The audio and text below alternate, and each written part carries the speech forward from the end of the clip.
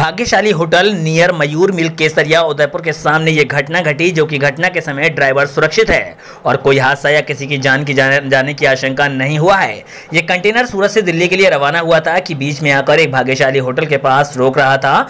खाना खाने के ड्राइवर जैसे ही उसने पार्किंग में कंटेनर को खड़ा करने के लिए जा रहा था कि ऊपर से बिजली की तार गई हुई थी और वो कंटेनर गाड़ी के ऊपर बिजली का तार फंस गया और आग लग गई और आग लगते ही ट्रक पूरी तरह जलकर खाक हो गया। जब तक कि फायर ब्रिगेड की गाड़ी आई तब तक तो कंटेनर एवं सामान जलकर खाक हो चुका था। इस कंटेनर में सूरत से दिल्ली के लिए साड़ी लाद कर ले जाई जा रही थी। ये साड़ी दिल्ली के बिजनेसमैन की थी। ड्राइवर पूरी तरह से सुरक्षित है।